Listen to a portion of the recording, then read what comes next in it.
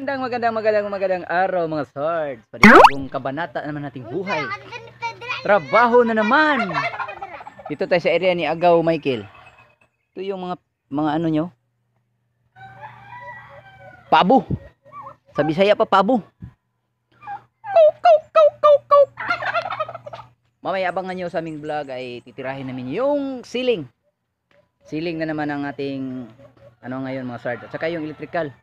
Ang ceiling kasi sa taas ay may design kasi yun. Yung kublet. Tinatawag nilang kublet. Korean design.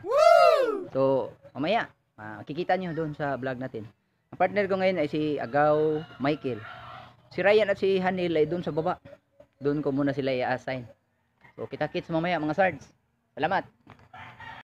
O mga sards, nandito na kami sa area. Ito yung ginawa namin ha. Eh, dinugtungan namin yun kasi elevate natin yung ceiling para medyo mataas. Dito yung area na tatrabahoin namin ni Agaw. Sinasabi ko kanina.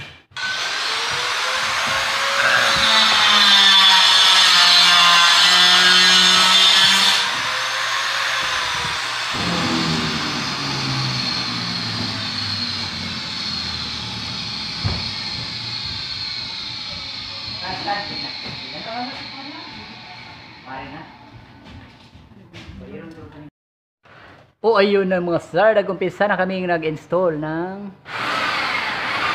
wall angle at saka yan, channel niya. Yan ang carrying channel. Ito yung wall angle, yung level hanggang doon. Yan, ganito kataas ang aming ceiling. Ah, ano, almost 9 feet lang. Ito yung, bali dito yun, ikakabit yung paring. Ito yung carrying carrying channel niya. Dito yun ikiklip. Bali lima to. Isa dalawa tatlo apat lima. Yan may mga abang na yan. Yan yung sa channel. Ito ang abang na to. At go. Kayo, kayo, lagyan ng balat, lagyan ng dito. Kasi ini yung video, wala lagayan. pistol break time na kami kasi ano na Big time 11:45 na. balik namin ah, may kaganapan na dito mga sards mamaya. Siguro ma matapos namin tong ano lagyan ng pare ngayon. Rin namin mga sards ang aming ceiling ito na tapos na ang training lahat. Ano namin yung mga electrical dito ah na yan yung mga junction box na yan lalagyan niya ng gan- ganyan hose Look, pwede matago ang hose no ay, wag na malubong dito na. Yan na. Ito namang tirahin natin. Ayun, natapos natin sa araw na ito mga swords. Magandang hapon sa lahat. Ay, nag-upisa na rin kaming nag-install ng ano, wiring. Dito mag-upisa ako kasi nandito yung panel board. Yan yung panel board dito sa taas. Nag-upisa na akong mag-supply ng ano, ilaw. Dito sa kabila siguro mga outlet ng siguro dito. Ito yun sa mga ilaw to lahat. Itong mga junction na nakita nyo ito. Yun, doon. Ito sa kabila, wala pa.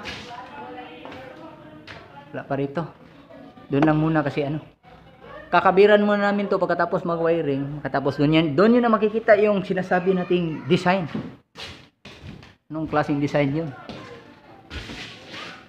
Yan. Bali dito banda yung sa center yung billiard table. Senior na billiard.